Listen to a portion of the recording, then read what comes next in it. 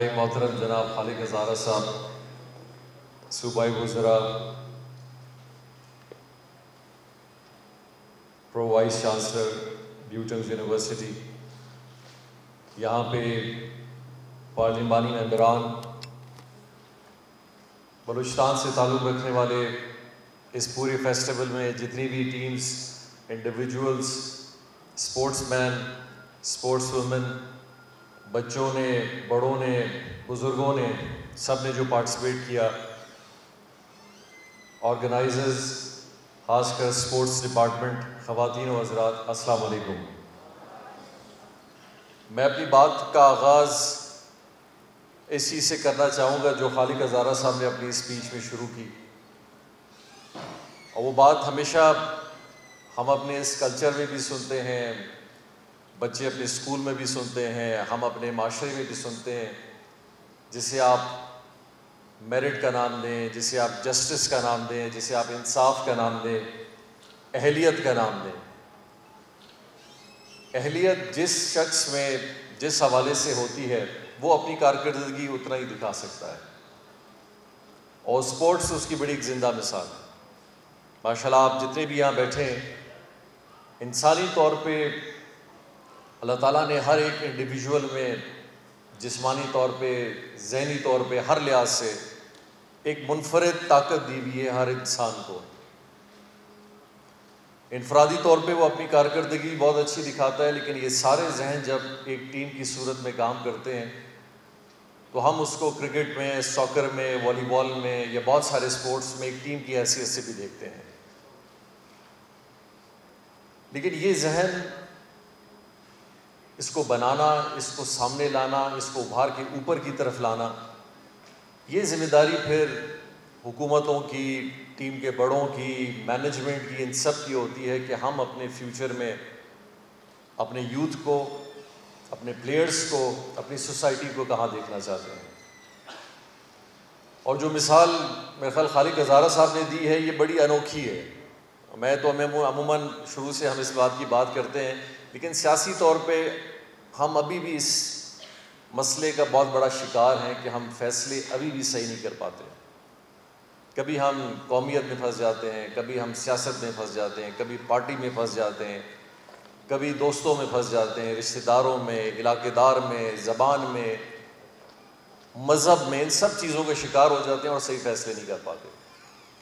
मैं तो आम ज़िंदगी में इसका जब हमारे माशाल्लाह कभी पार्लियामेंटेरियन भी होते हैं और बाकी दोस्त भी होते हैं तो मैं कहता हूँ आप सिर्फ़ एक बात का जवाब कभी कभी अपने जहन में सोचें कि इनफरादी तौर पे आप कभी किसी डॉक्टर के पास जाते हैं, कभी आप किसी होटल में जाते हैं, कभी आप अपना घर बनाने जाते हैं, कभी आप किसी दर्जी के पास जाते हैं, ख़वातीन किसी पार्लर में जाती हैं या ड्रेस बनाती हैं तो वहाँ हमें न रंग याद रहता है, न ज़बान याद रहती है, न मज़हब याद रहता है। हम सिर्फ़ देखते हैं कि ये जो चीज़ हम अपने लिए करने जा रहे हैं, ये हम उससे करवाएँ जो सबसे अच्छा करता है।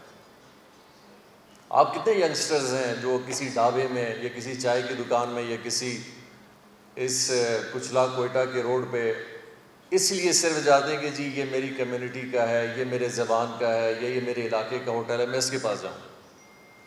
हम सिर्फ़ जाते हैं जहाँ अच्छी चाय बनती है, जहाँ अच्छे पराठे बनते हैं, जहाँ अच्छा अंडा बनता है, जहाँ कढ़ाई अच्छी होती है, जहाँ आइसक्रीम अच्छी होती है। आपका अपना घर वाला भी है अगर कोई आइसक्रीम बहुत बुरी बनाए तो मैं ख्याल आप उसको भी नहीं खाएँगे। लेकिन एक हज़ारे वाले खा लेंगे क्योंकि वो अच्छा बनाते हैं। तो क्या वजह है कि हम जब अपने इस मुल्क के और इस सूबे के बड़े बड़े फैसले करते हैं, हम इन सारी चीज़ें भूल जाते हैं। फिर हम कहते हैं कि, नहीं जी, ये तो मेरे इलाके का होना चाहिए, ये मेरी कौम का होना चाहिए, ये मेरी पार्टी का होना चाहिए। हम स्कूल में प्रिंसिपल ये नहीं देखते कि कौन सा अच्छा प्रिंसिपल होगा। हम किसी डिस्पेंसर को या डॉक्टर को इसलिए नहीं लगाते कि वो अच्छा डॉक्टर है। हम एक इंजीनियर को इसलिए इंजीनियर नहीं लगाते कि वो अच्छा इंजीनियर है।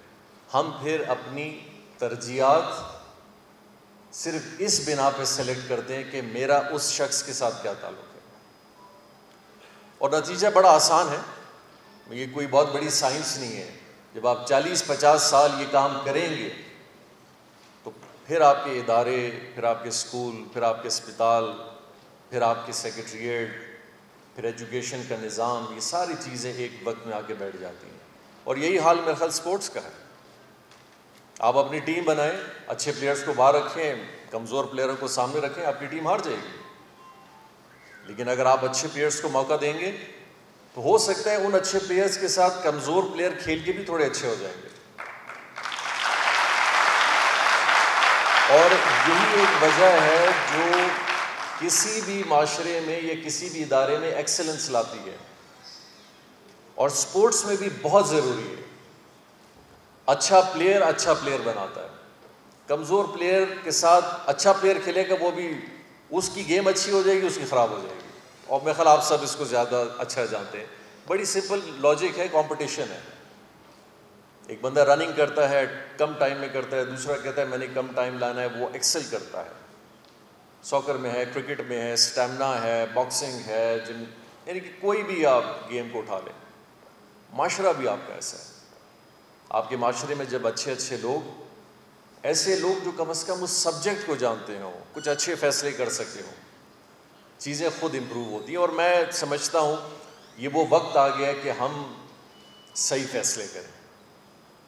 और आप यकीन करें कि आपके और हमारे सही फैसले माशरा बनाते हैं जनरेशन्स बनाते हैं, मुल्क बनाते हैं। लेकिन लेकिन मैं और आप अगर इन चीज़ों में जितनी कमज़ोरियाँ लाएँगे, हमारी कंट्रीब्यूशन वैसे ही होगी जो किसी और की। और आने वाला जो हमारी जनरेशन है, कम अज़ कम आप लोग, माशाल्लाह यहाँ नौजवान हैं, इस चीज़ का अल्लाह ताला आपको हर चीज़ का मौका देंगे। आपके पास वोट है, आपके पास एक स्पीकिंग पावर है, आप बड़े एनर्जेटिक हैं, इस्तेमाल करें इसको। और मैं समझूँगा अगर इस फिनोमना पे जिस तरह खालिक हज़ारा साहब और बहुत सारे और लोग हैं जो इस जहन के साथ सियासत में काम करेंगे, हमारी एक बहुत बड़ी कंट्रीब्यूशन होगी अपने सूबे के लिए। अमूमन शायद एक स्पोर्ट्समैन ही स्पोर्ट्स को समझता है। दुनिया में आप किसी भी मुल्क में चले जाए, सिवाय पाकिस्तान आपको स्पोर्ट्स में हर स्पोर्ट्स को फ़रोग देने के लिए उनकी कम्युनिटी उनके गवर्नमेंट उनके इदारे हर लिहाज से सामने नज़र आएँगे। क्योंकि वो इस बात को समझते हैं कि एक इंसान उस वक्त एक अच्छा एक इंसान बन सकता है या प्रोडक्टिव बन सकता है, जब उसका दिमाग बहुत हेल्दी हो। हमारे पास सिवाय घरों में कंक्रीट में रहने के, गलियों में, रोडों पे जाने के अलावा इंटरटेनमेंट नाम की कोई चीज़ हमारे सोसाइटी में नहीं है। हमारी इंटरटेनमेंट क्या है? बस किसी दुकान में जाके, किसी बाज़ार में जाके चाय पी लें, कहीं कढ़ाई खा लें, ये इंटरटेनमेंट है। बाहर की दुनिया में आप जाएँ पार्क्स हैं एंटरटेनमेंट हैं रिक्रिएशनल ऐसी ऐसी साइट्स हैं कि वो अपने बच्चों को ले जाते हैं, बड़े जाते हैं, नौजवान जाते हैं। और यकीनी तौर पे फिर आपकी ज़िंदगी के जो सारे टेंशन जो आपके दिमाग में कारोबार के हवाले से फैमिली के हवाले से स्टडीज़ के हवाले से रहती हैं, ये आस्ते आस्ते निकल जाती हैं। क्योंकि आपको एक अपॉर्चुनिटी माहौल में, माशरे पे मिलती है। टूरिज़्म के लिए लोग बाहर जाते हैं। और हम पिछले 10-20 साल में हमने अपने इस पूरे मुल्क में और ख़ासकर बलूचिस्तान में इन सारे चीज़ों को नज़रअंदाज किया और किया होगा काम। यकीनी तौर पे मैं नहीं कहता कि बिल्कुल सिफर काम है, लेकिन जिस लेवल पे करना चाहिए था, वो हमने नहीं किया। आज आपकी यूथ तेरह से चौदह साल से पैंतीस साल की एज के बीच में पैंसठ फ़ीसद आपकी पॉपुलेशन ये लोग हैं।